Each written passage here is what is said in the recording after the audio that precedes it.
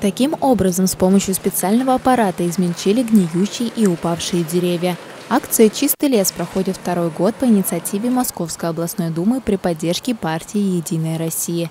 Навести порядок в лесу вышли жители, волонтеры, представители администрации.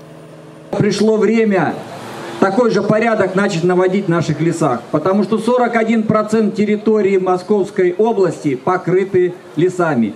И, к сожалению, за это время сделано, конечно, много, но не все. Сегодня нам нужно начать новую историю, новую программу, когда вот эти все э, погибшие деревья, э, валежник, который мешает нам ходить просто и любоваться нашим лесом, привести порядок. Мы очень хотим видеть наш поселок чистым, без валежника. Здесь у нас проходит основная трасса, да, по которой едут к нам и гости, и не только городского округа, но и Москвы, и чтобы все видели чистоту и красоту нашего поселка.